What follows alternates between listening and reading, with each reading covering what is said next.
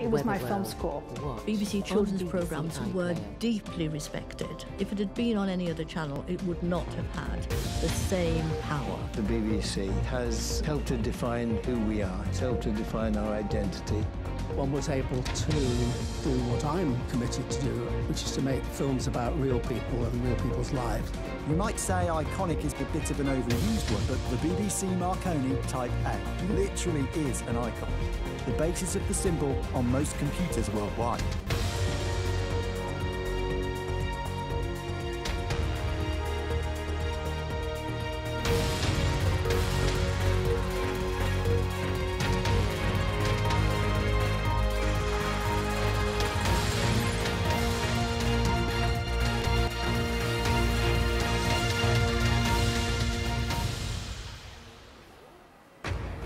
Hello, this, This, is BBC, News. World I'm News. I'm Kasia Croxall, Madera. live Our main at stories. The headlines The race four. to replace Britain's leader Liz Truss officially Penny opens. has The governing the first MP Conservative to Party declare that seeks she's yet running to another become Prime the Tory Minister. leader and the In next the Prime last few Minister. minutes, Penny Mordaunt has leading become the first until Tory Monday to the MP to support declare that she 100 is in the running. The Defence Secretary In Italy, Giorgia Meloni is poised to become the country's next leader. The Tory party the has to first far-right Prime Minister since World War II. delivering its mandate that it was elected on in This is the scene 2019 live in Rome at the majority, which is to presidential palace, where on we are expecting to citizens of this hear from Ms Meloni shortly. The question also remains as Ukraine to whether Boris accuses Johnson Russia could of attempt to planting return to a Downing Street. hydroelectric dam Speculation near the city rife. of Kherson.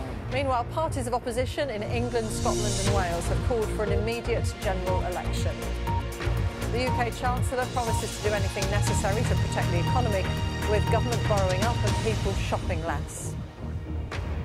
Warning the health and social care system in England is Hello and warm gridlocked and welcome unable to BBC cope with World the demand, News. putting The race is on for the top job risk. in British politics after Liz Truss announced that her resignation was on Thursday as Prime Minister. Now, Liz Truss became the shortest serving British Prime Minister after conceding that she couldn't deliver on the mandate that put her in office. The new leader of the Conservative Party is expected to be declared within a week, and in just the last few minutes, Penny Mordaunt has become the first candidate to Welcome officially to launch BBC her News bid. Let's cross over live live from to Westminster, Westminster. and join Martine Croxall. Senior Conservatives hoping to become Prime Minister have begun seeking support from their fellow Tory MPs. They need to gain the backing of at least 100 colleagues in order to stand in the leadership race. Liz Truss resigned yesterday, though remains in Downing Street until a successor is appointed. Speaking outside number 10, Liz Truss said that she could not deliver the mandate on which she was elected. There will now be a fast track leadership election to decide who will be the new leader of the Conservative Party and ultimately Prime Minister.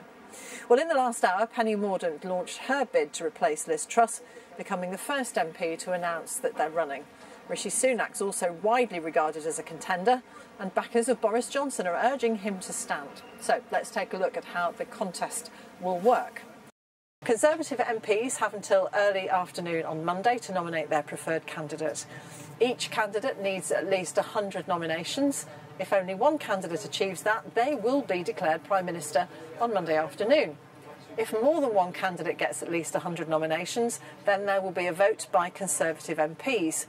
Depending on the result of that, the final decision could be made by Tory party members voting online.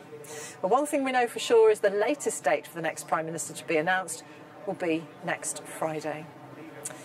Well, Penny Mordaunt came third in the last contest over the summer, securing strong support from her fellow MPs, but just missing out on making it to the final two. Our political correspondent Damian Grammaticas has the latest developments. First mover uh, in the race now to be uh, Conservative leader. So Penny Mordaunt uh, saying on Twitter that she has, uh, she said, been encouraged by support from her colleagues